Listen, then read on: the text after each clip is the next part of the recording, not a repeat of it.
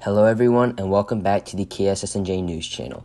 My name is Zach No, and I will be discussing KSSNJ's Korean cooking class. As many know, Korean food is absolutely delicious. So, by offering the chance for students to experience this is an amazing way to spread Korean culture. The cooking class provides students with the opportunity to learn and make wonderful Korean dishes. For instance, kimbap, jjajangmyeon, buchimgae, and many more. This chance to learn about Korean food will allow students to learn and hopefully pass on this Korean culture to their future sons and daughters. I asked the person in charge, Sung Jun Sun, about the creation of the food class, what his goal was, and what he gained as a teacher. Here is the interview.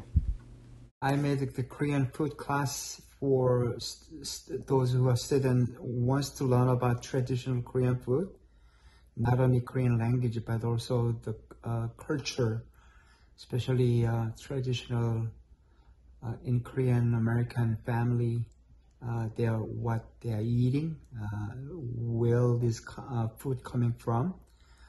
Uh, so you know, our second generation learn about uh, the traditional cooking, so that they, they can continually eat those delicious food and have. As a cooking teacher, I, I gained many things. I found a lot of students very interesting to learn about Korean food and also how to cook it. Uh, they always get the food from mom and dad, but um, uh, they try to uh, practically cook themselves and get uh, good ingredients. And so they, they try to cook it and learn about it so they can just apply in their daily life. So, you know, I gained so many things that uh, student was happy and I was so happy. Thank you.